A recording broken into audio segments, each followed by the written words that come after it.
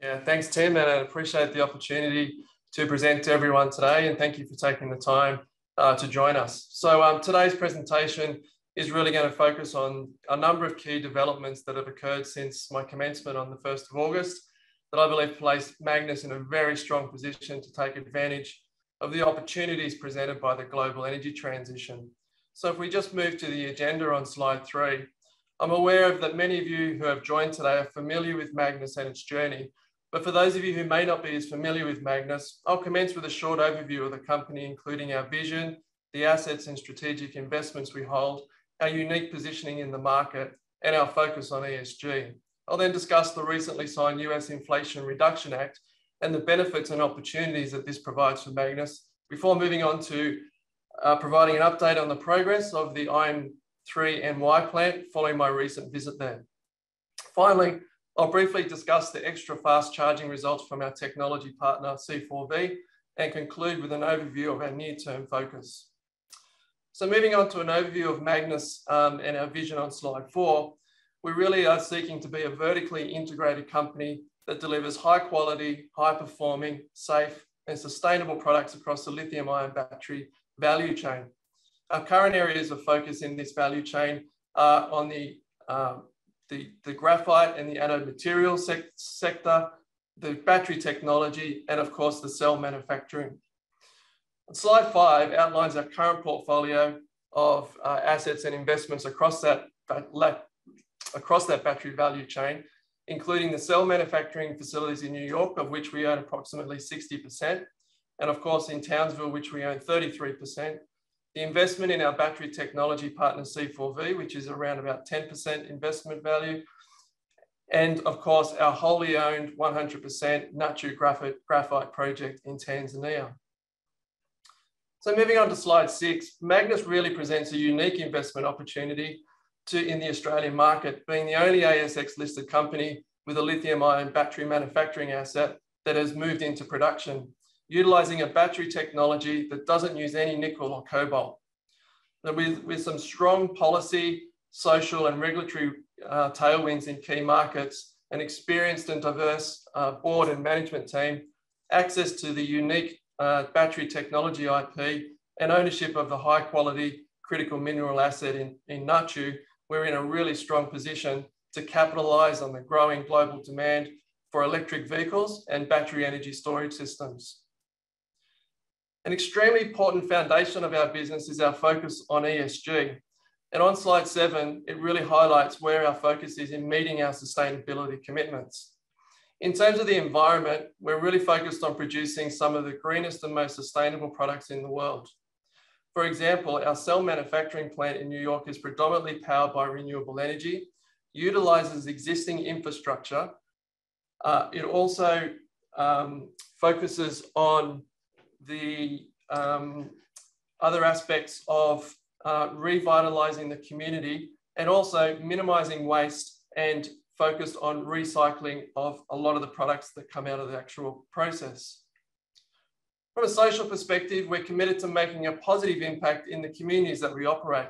And this is no better demonstrated by the work that we've been doing in Tanzania as part of the Nachu project to support improvements in housing, uh, in education, and also in skills development. So we think this is a really important aspect of every project we do.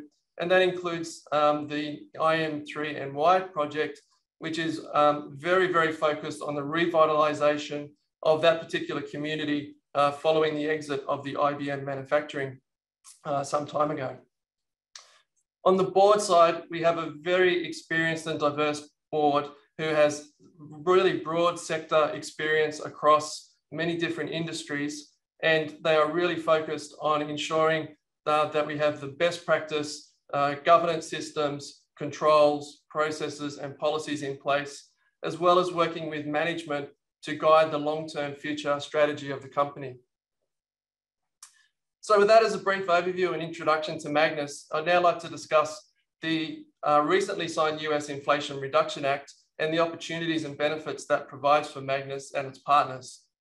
This is a really important piece of legislation to accelerate decarbonisation and the overall energy transition and advance the manufacture of batteries and critical minerals in the US but also many other forms of clean energy technologies. So the key section of the Act, which is um, of most relevance to Magnis, is what's called Section 45X. And this particular uh, section focuses on the uh, advanced manufacturing production tax credits across a range of different technologies. The most important section of this for Magnis is the battery cell tax credit, which is uh, $35 per unit of capacity of each cell, which is being provided under the Act. Now, if we translate that into our recently announced uh, production target of one gigawatt hour by the end of 2023, that translates into a total tax credit of $35 million. Um, so as you can see, it's a very significant um, uh, tax credit that we would be receiving um, as part of that particular, um, of this act.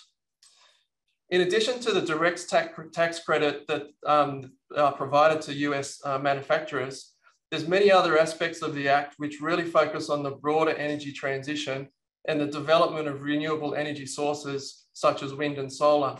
And of course, due to the intermittency of the wind and solar, um, they heavily rely on battery energy storage systems to really even out the intermittency and to ensure um, the reliability, uh, stability and strength of the overall power system. So there's a real, um, you know, going to be a real drive for battery energy storage systems um, in, in terms of meeting that overall energy transition.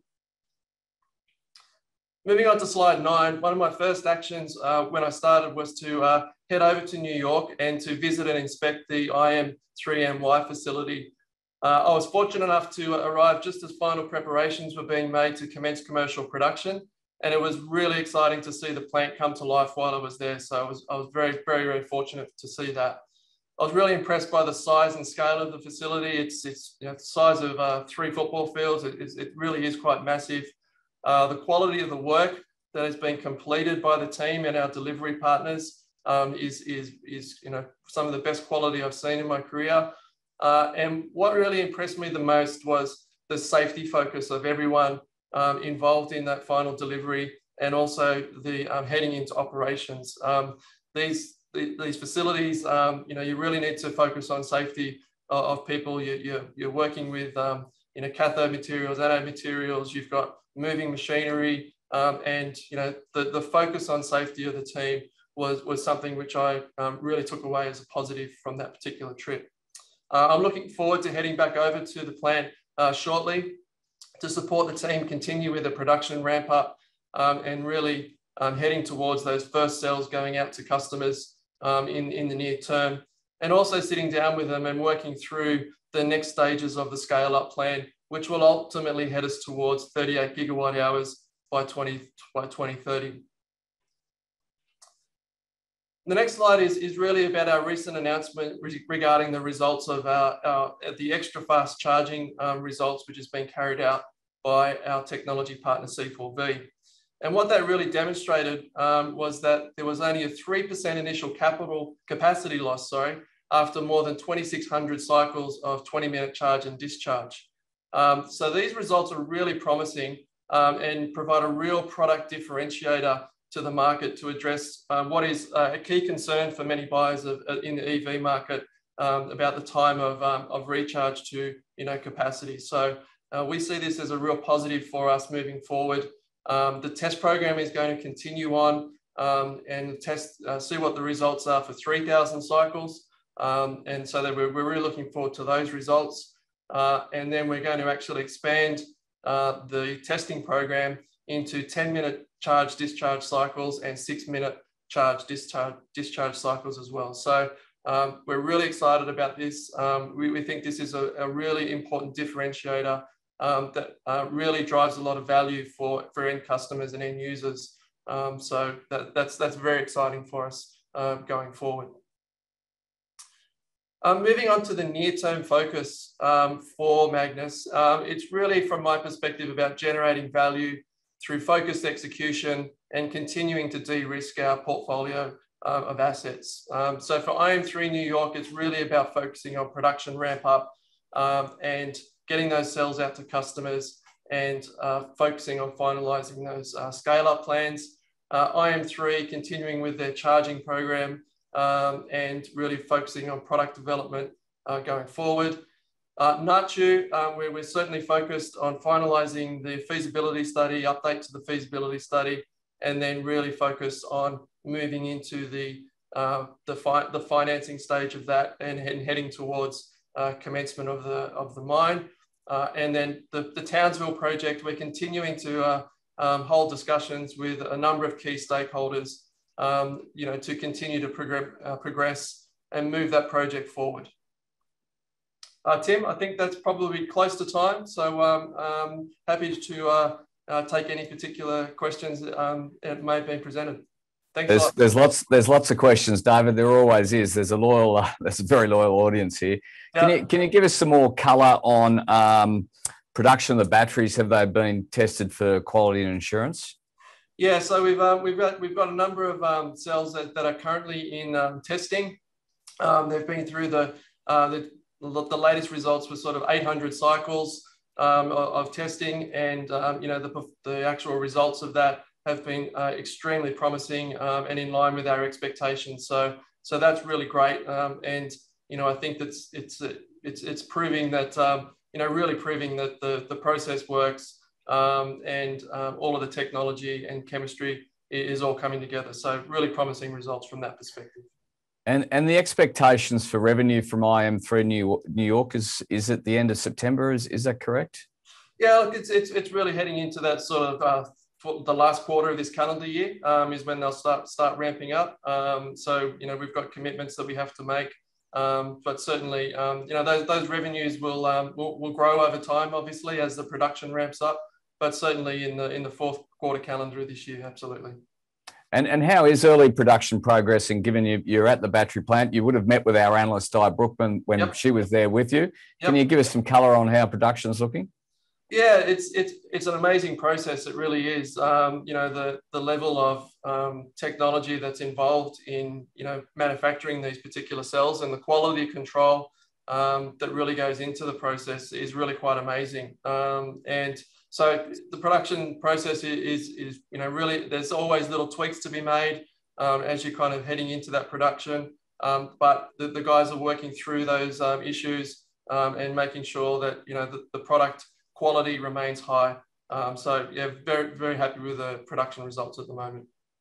And, and is Magnis in the queue for government funding? Obviously, the Biden administration Inflation Act um, is ripe for someone like Magnis. Um, eh, have you filed for some sort of grant application? Yeah, well, look, we've certainly been involved in making applications. It's been a, an ongoing and long process um, in, in, in, engagement with the Department of Energy. Um, we do feel very well positioned um, to be able to um, secure some of that funding. Um, you know, hopefully um, we'll, we'll hear, you know, talk, you know, soon in, in, the, in the next sort of uh, few months as to where how our, how our application is progressing. But we are certainly uh, have a number of different um, avenues under, under those various programs for funding from the Department of Energy. And, and just on funding, um, can you give us uh, a level, what sort of interest you're getting from an offtake agreement perspective? Is the phone running off the hook? How, how's that unfolding? I appreciate you can't tell us anything specifically. Yeah, um, yeah, we obviously can't name names or anything, but yeah, you, are right. Um, I think the recent announcement of, of commercial production, we've had a number of inbound inquiries from people um, looking to wanting to uh, find more, find out more about the actual cell technology. Um, you know, what's our sort of capacity availability, um, and that's from a range of um, a range of different markets and customers that we're talking to. So, uh, really positive response uh, from a demand perspective. And and uh, we're getting lots of questions in here, but they do centre around some core questions, which is NACHU. Where where are we at with the feasibility? What's been the cause of the delay? Um, when will that graphite end up in IM3 New York and, and, the battery factory there? Yeah, it's a good question. Thank you. Um, you know, it's we've been kind of like everyone, we've we've been you know subject to some uh, uh, supply constraints on the resource side, um, just from an engineering perspective. Um, you know, having come from that world previous to um, you know, joining Magnis, uh, I'm well aware of the acute shortages um, in some of those resources. So that slowed us down slightly, um, not, not, not too much, but it did slow us down. Um, we, we, are, we are in the, in the midst of finalising um, all aspects of that feasibility study right now. Um, so, you know, we do expect that that will be um, released um, very soon. Um, So that's where we're at with that particular one. In terms of you know where we're heading and, and production of graphite, look, we've got a, a, financing process to go through. You know that'll take some time in the current environment, and then we've got a, effectively a two-year development program um, to get the mine up and running into operation. So you know financing first, get all the funding in place and locked away, uh, and then and then into delivery phases. So there's still still a bit of time before we get in, get into that. And, and David, let's let's finish on a couple of questions if you don't mind. I mean, you're new to the business. What yep. what attracted you to the to the company? And and Magnis is kind of there's there's a lack of institutional shareholders on the on the register. How can you encourage or or what are, what are institutions looking for at the next stage for Magnis before they become investors? Yeah, sure. So um, look, the, the company from my perspective, um, I have a real passion for uh, the green energy sector, um, and and you know this um, looking at uh, green technologies and advancing, um, effectively making a positive contribution um, to the community and the environment through what we do every day. I thought that uh, Magnis had, you know, built a great platform um, of, of assets and investments um, across the value chain within that space. And, you know, it was a really, from my perspective, a great opportunity um, to take a company from where it is and, and you know, achieve some significant growth um, over the next five years uh, in this sector. So that was a, a real, real uh, attraction from my perspective. Uh, in terms of institutional investors and attracting in institutional investors, um, I believe that they're looking for you know some some real uh, proof of uh, execution and, and, and milestones. Um, you know, seeing some revenues coming through. Um, so you know, we're really focused on that at the moment. Uh, and I think you know they'll they'll see the story. I think we're in the right space that people are looking to invest in. Um, and as we're actually proving um, that we're hitting our milestones, we're delivering, um, and we're executing um, with excellence, then I think that will really attract those institutional investors into the company. David, thanks for your time. It really is a fascinating story, potentially the right place, the right time. Uh, we'll catch up with you again later in the year. Thank you. Thanks, Tim. Thanks, everyone.